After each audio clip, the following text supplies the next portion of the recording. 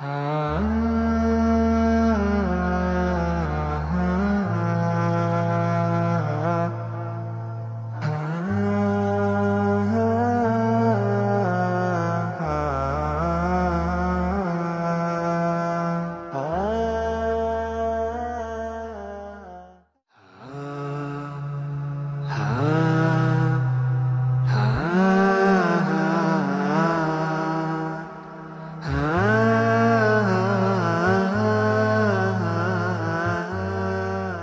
Bismillah, Assalamualaikum warahmatullahi wabarakatuh Sahabat semua, kali ini perjalanan eh, kita di kesempatan ini dalam program Ketuk Pintu Sudah ada di mana ini? Marelan. Marelan, ya Apa nih? Helpet. Helpet Oke, Marelan. Masya Allah di Medan ya Dan tentunya sahabat semua tadi kita sudah eh, melewati eh, beberapa simpang dan akhirnya alhamdulillah sudah di rumah eh, Ibu Le Leli ya. Mm-mm. Dan nanti kita akan berbagi eh, kisah bersama beliau bagaimana keadaannya dan mudah-mudahan ada hal yang dapat memotivasi kita semua. Baik langsung saja sahabat semua kita akan ngobrol langsung bersama narasumber kita ya. Masya Allah. Assalamualaikum Ibu. Waalaikumsalam warahmatullahi Masya Allah. Sehat Bu ya. Alhamdulillah. Masya Allah. Ibu di sini udah berapa lama? Asli orang sini? Asli orang sini. Hmm, suami juga? Ya suami orang Saindah lingkungan 26. Hmm. Tapi dekat sini Dekat juga. sini lah masih satu ling masih tetanggaan juga. Anak ibu udah berapa? Anak ada dua sepasang. Sepasang. Yang besar laki-laki? Yang besar laki-laki Kelas? 2 SMP. Dua SMP. Yang kedua? Yang kedua anak apa umur lima tahun setengah. Lima tahun nih. Hmm. Berarti udah sekolah apa belum tuh? Belum aturan tahun ini masuk TK, tapi karena nggak ada yang nganter jadi diundur aja lah tahun depan. Oh gitu. Suami ibu masih ada kan? Masih Sehari-hari apa Kerja. eh, aktivitasnya? kerja panglong, Panglong ya. panglong. Mm-mm. Tiap tiap jam berapa berangkat suami? Jam 8 pagi udah berangkat. Pulang? Pulangnya kadang habis maghrib, kadang jam 6. Kan kerjanya jauh, kadang kena macet. Oh, di mana kerjanya, Bu? Di sana di dekat rumah sakit ada Malik. Oh jauh. Gudangnya di sana. Hmm, Ikut orang. Mm. Jamin ginting. Iya. Berarti ibu keluarga-keluarga masih ada yang di sini? Ada. Hmm. Ini tempat tinggal sendiri. Nggak tinggal sendiri, Rumah sendiri. Bu. rumah sendiri. Peninggalan orang tua atau beli? Ini kami tiga bersaudara ini yang jajar rumah ini adik beradik kami. Oh, adik dari Ibu. Heeh, ini yang ini adik paling kecil, yang sebelah sana adik nomor dua. Saya tinggal di saya di rumah ini. Hmm. Kalau suami bu, maaf bu ya, penghasilannya berapa dan bisa nutupin per bulannya? Alhamdulillah bisa. Alhamdulillah ya. Mm. Ibu sedang sakit kayaknya bu ya? Hah? Sedang sakit. Iya. Tapi udah alhamdulillah udah Hmm. inilah udah lumayan lah membaik lah. Udah berapa, Sudah sembuh, ah? berapa lama ibu sakit? Udah tiga tahun lebih juga. Ini sakitnya apa? Kata udah diperiksa tapi kan ke dokter? Udah itu pendarahan terus ya kan nggak berhenti berhenti. Hmm. Bawa ke dokter juga. Pertama berobat umum kan karena udah nggak ada biaya Hmm. ke rumah sakit. Kat, apa katanya kan diperiksa di ginjal dulu kan tujuh tahun yang lalu pernah juga komplikasi ginjal pendarahan juga.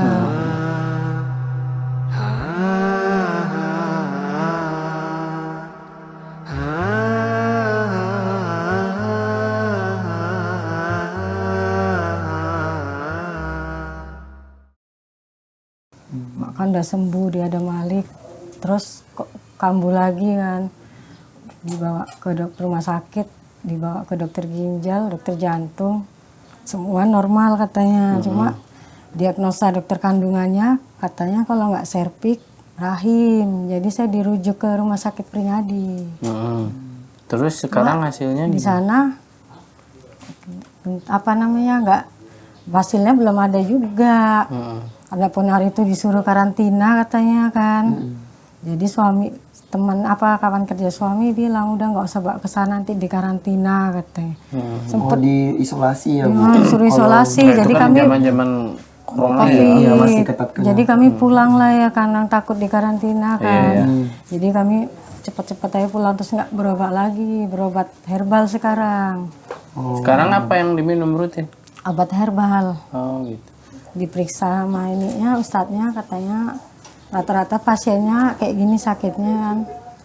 Servik katanya. Set- udah berapa lama berobat herbal? Udah dua tahunan juga. hasilnya gimana? Udah agak mendingan? Alhamdulillah banyak kemajuan perubahan, udah bisa jalan-jalan keluar. sebelumnya nggak bisa Sebelumnya bikin jalan gitu lemes, capek gitu kan. Kan darah itu nggak berhenti berhenti. oh gitu. Berta- berapa berapa tahun itu kan nguari terus jadi lemes saya. jadi kalau ibu pas lagi parah-parahnya sakit kan suami kerja juga jadi ngerjain rumah Kalau pas parah-parahnya itu suami jarang kerja dia. oh karena ngurusin ngurusin ibu juga Kan ya mama kami pun kan udah nggak ada, udah meninggal ya kan. Jadi enggak satu cuma mama kalau bapak kami di Nia sana. Merantau di sana. oh berarti waktu parah-parahnya itu suami jarang kerja Jarang kerja. Ini kan udah keadaannya alhamdulillah udah alhamdulillah udah bisa kerja lah. Hmm. Bisa menutupi.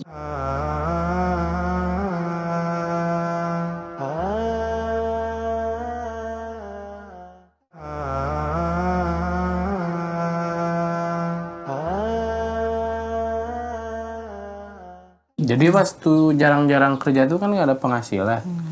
Gimana tuh sehari-hari? Ya itu alhamdulillah ada aja rezekinya kan untuk beli obat, untuk makan Hmm. ada aja rezeki dari orang itu. iya iya.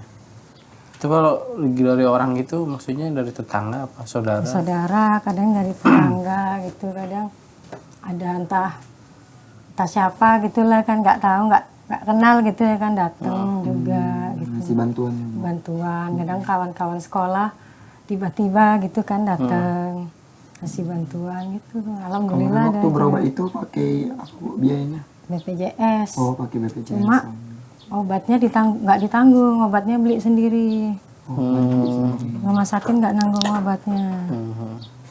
karena obatnya mahal itu katanya jadi nggak ditanggung sama pemerintah. Pemerintah dari pemerintah dapat juga bantuan nggak? Pemerintah itu sebenarnya kan dari apa PKH nama namanya ada cuma nggak pernah keluar lagi sampai sekarang bantuan-bantuannya. Tapi pernah sempat dapat pernah sekali apa dua kali tuh keluar cuma sampai sekarang nggak pernah keluar lagi. Semalam itu pun suami sempat didaftarkan yang prakerja itu Iya, iya, iya. ditolak.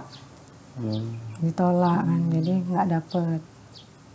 Jadi kami sekarang ya bantuan apa apa nggak bisa dapat lagi dah nggak bisa dapat apa apa lagi dah karena masih ada tanggungan nama di PKH itu. Oh namanya masih terdaftar, gitu. daftar tapi cuma bantuannya nggak pernah keluar. dicek nggak? Sering dicek cuma saldonya kosong terus. Anak-anak aman bu ya? Sehat maksudnya? Sehat alhamdulillah. Ah, yang sekolah SMP nggak jauh jaraknya? Nusa Indah dia sekolah di, di, di Nusa Indah sana Kilang Padi itu. Jalan kaki. Dekat Indomaret ah, itu kan ada kaki. sekolahan jalan kaki aja Ini berarti belum pulang bu anaknya. tidur ya Oh, lagi udah kan pulang. ujian ah, oh iya, iya masih lagi ujian ujian Pulang. tidur kalau hari gini kan sore banyak tugas ya Berarti selama ibu sakit kemarin ikut bantuin juga ya. bantuin dia tugasnya tiap hari ada aja dia banyak bantuin lah dia mandiri semua dua-dua dah Alhamdulillah. berarti ibu sebelum sakit udah yang lebih terasa parahnya itu tiga tahun ke belakang sakitnya Iya. sebelumnya pernah ibu aktivitas gitu bantuin suami kerja atau segala macam nggak? Paling dulu waktu masih sehat-sehat ya kerja-kerja yang namanya ibu-ibu kadang. Hmm. nggak- apa saya ngikir sayur lah dulu gitu ya kan. Kebun sayur gitu. Kadang imlek gitu aja bentar-bentar aja. Tapi kadang suami marah kalau kerja kan kalau udah kecapean bisa dem sakit gitu. Hmm, Berarti nggak bisa berat-berat ya? Karena dulu kan tahun 2013 komplikasi di ginjal ya kan, jadi nggak bisa kerja berat.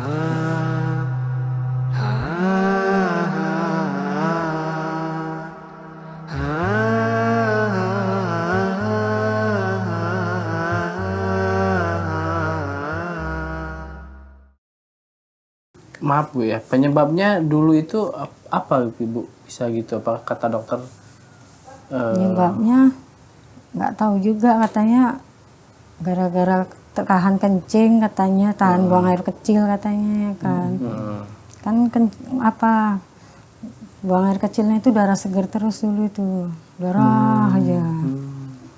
Tahun-tahun juga tuh berapa wari darah kayak darah segar terus. Cuma alhamdulillah dulu berobat pakai BPJS ya ada Malik ya kan di sana alhamdulillah sehat. Sampai sembuh ya Bu ya. tapi kan lumayan juga tuh bu ongkos dari sini ke Iya, sana kan perjalanan cuma inilah dihadapin aja lah ya kan ikhlas aja. Heeh, heeh.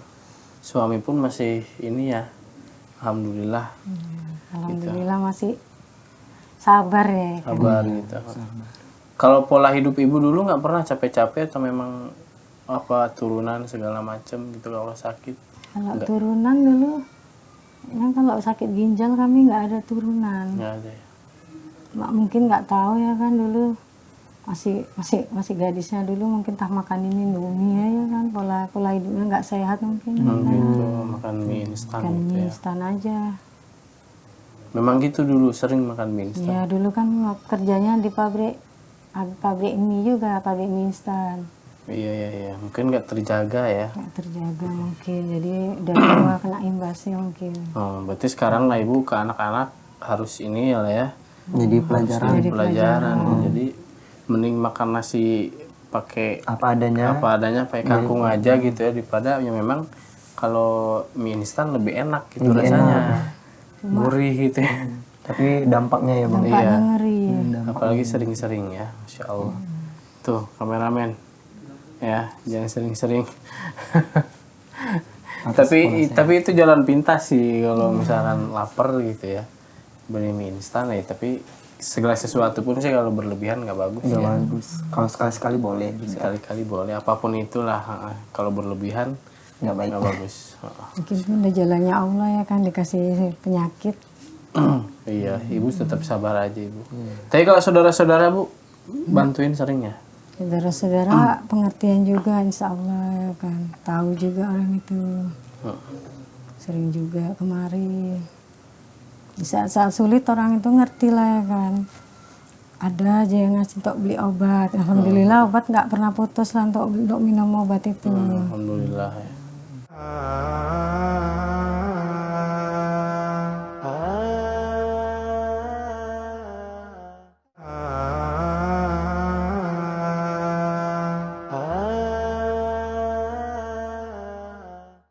Ibu berobatnya gimana? Oh, yang alternatif tadi. ada kan obat herbal biasa di terapi biasanya sama ustadz itu pak ustadz Iya, berapa minggu sekali gitu. kayak waktu pas masih itu seminggu sekali datang berapa biayanya seminggu sekali beli obatnya kan paketan yang kecil aja kan 240 itu udah sama terapinya enggak ya terapi dia kadang nggak mau dibayar oh gitu Oh, terapinya nggak bayar, obatnya aja. Hmm. Obatnya aja orangnya pun baik juga ustadz itu Eh, Jadi kalau makan gimana, Bu? makan pantangannya banyak Banyak ya. apa aja tuh bu pantangannya kayak kayak ayam kayak daging-daging santan kayak udang yang itulah nggak boleh paling boleh makan ikan ikan nila ikan mujair Hmm, yang siput-siputan berarti nggak boleh. nggak boleh tempe tahu sampai sekarang makannya itulah Oh, tempe tahu boleh. tahu kalau sayur-sayur paling yang boleh kayak daun pepaya pari pahit sawi pahit itu yang Oh, yang pahit-pahit yang Bu. berarti makan tuh udah nggak sembarangan ya? Nggak sembarangan. Kalau udah makan pantangannya kecolok aja udah susah tidur. Oh berarti ada efeknya ya? efeknya ada nggak bisa tidur badannya sakit semua gitu. Tapi kadang kan kalau kepengen kadang nyuri nyuri sikit-sikit juga tapi Kepengen. imbasnya kena sendiri iya sih. Cuma alhamdulillah sekarang udah nggak mual-mual. Iya berarti ibunya harus dijaga makannya ya. Tiap makan dijaga ya sama anaknya biar nggak ngambil sembarangan ya Jadi kalau setelah berobat itu sekarang aktivitas udah udah udah bisa, Bu. bisa kan, jemurin bisa ya kan. Hmm. nyapu. Cuma nggak berani semua dikerjai Ya, kalau ya, udah capek capek nanti. capek dikerjai terus demam Hmm, terus demam kan langsung panas gitu. panas terus badannya capian nggak bisa langsung demam Pernah nggak ibu ketika lagi apa namanya sakit-sakit terus menerus lama gitu? ini Sedih gitu bu ketika sakit, Pas sakit lama gitu sakitnya. sedih gitu. Nengok sedih nengok anak-anak, nengok ya suami. pikirannya ke situ aja. sempat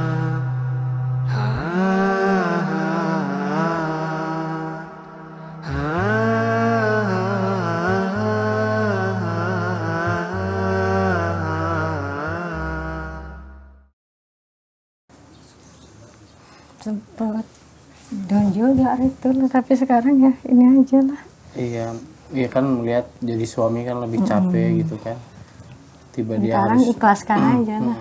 Harus ngurus. Semangat kan banyak dukungan dari orang-orangnya kan dari saudara. Teman-teman semangat katanya semangat.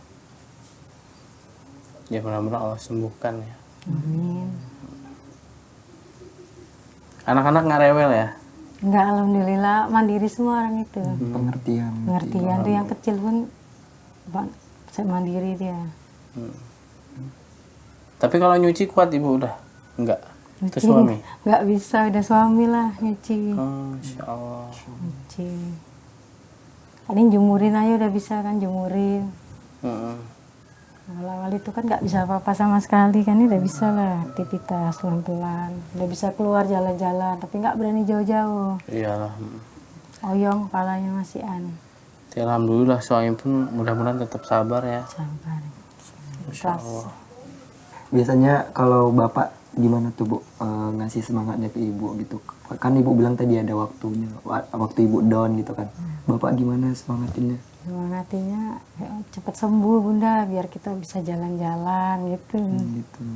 Tema anak-anak nggak pingin nengok anak-anak sampai besar katanya cepat sehat? Nanti kalau sehat kita jalan-jalan kita ya katanya. Nggak pingin tuh kayak orang-orang jalan-jalan. Semangat ya gitu aja. Hmm, Jalan-jalan keluarga gitu. Tapi itu yang membuat ibu lebih semangat lagi ya. ya nengok anak-anak besar-besar udah ya kan. Iya, mudah- kasihan kan nengok anak nengok suami kan sedih. Iyalah, ap- apalagi ibu istilahnya biasanya gitu kan istri itu lebih bantuin suami kalau kerja gitu bisa apa namanya nyambut gitu kan segala macam jadi lebih capek lagi kan harus nyuci lagi di rumah segala macam ngurus anak-anak masya Allah. Baiklah eh, ibu ini ada eh, bantuan. Alhamdulillah tadi sudah ngobrol. Terima kasih atas waktunya. Sama-sama. ini ya ada sedikit bantuan dari dompet eh, Duafa dan juga eh, Salam TV. Mudah-mudahan bermanfaat. Insya Allah. Nah ini Bu ada bantuan sembako. Mudah-mudahan dapat membantu ibu dan keluarga meringankan beban. Dan eh, tentunya ada beras, telur dan sebagainya dari dompet Duafa Ibu. Insya Allah. terima kasih buat semuanya ya Semoga ibu bisa cepat pulih. Amin, amin. amin amin Allah Ya, dan jangan lupa ibu terus eh, ibadahnya jangan dikendorin, berdoa sama Allah, terus jangan sampai bosan. Mudah-mudahan eh, ibu disembuhkan, anak-anak juga bahagia ya, suami juga bahagia, dan itulah bu yang bisa kami berikan bu ya. Masya Allah terlebih doalah untuk ibu. Dan kesembuhan dan keluarga juga ya. terima kasih banyak semuanya ya. Mudah-mudahan rezekinya Amin, amin, ya sehat semuanya. Amin ya. Oke baik sahabat eh, semua Alhamdulillah perjalanan eh, kali ini banyak hal yang bisa kita ambil ya.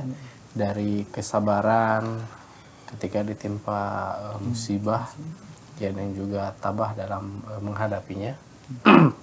Dan mudah-mudahan kita juga sahabat semua bisa terus ikut andil berbagi dan juga bagi anda yang tentunya ingin menjadi salah satu donatur ya di ketuk pintu ini bisa menghubungi di eh, nomor Salam TV ataupun juga di dompet Duafa Waspada. Baik sahabat semua akhir kata saya Fatur Rahman. Saya Tegar Jaya Putra. Ya pamit undur diri mohon maaf atas eh, segala kekurangan dan wassalamualaikum warahmatullahi wabarakatuh.